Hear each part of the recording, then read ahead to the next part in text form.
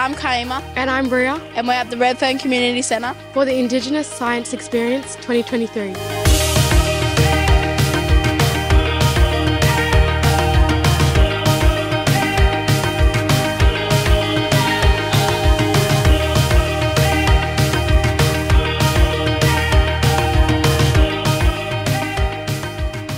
The Community Day is a really wonderful day for you to learn about the importance of First Nations sciences and technologies and really recognise and value the rich knowledge of our first scientists. The National Indigenous Science Education Program's Education Days and today's Indigenous Science Experience are wonderful and unique contributions to National Science Week. Try and participate in as many activities as you can and learn about the, the celebration of Indigenous and Western science.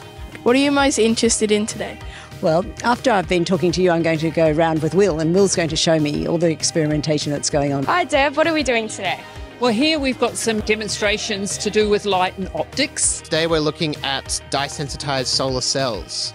We're here today showing people seaweed under the microscope and talking a little bit about the cultural significance of seaweed in Australia. We have a couple of demonstrations about sound.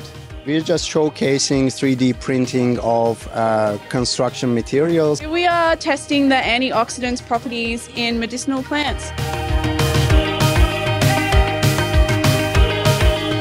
What are we doing today? Today we're doing some weaving, learning about First Nations weaving practices. Welcome to the Macquarie University chiropractic section. Guys actually got some good balance there. On these pieces of paper, I've drawn a secret message with some sodium hydroxide. Today, we're looking under our light microscopes at completely different samples. We've extracted oils from native plants, we boiled them, we crushed them, and after extracting the oil, we made them into soap. We're playing with sound, and we've got lots of people making all sorts of noise. What's been your favourite thing today? We're working with the kids and seeing them smile and like having fun with all the experiments. Today I've met up with two ex-NISEP students from Casino High who went all the way through the program. One of them has completed his university degree at Macquarie and the other one is studying medicine currently.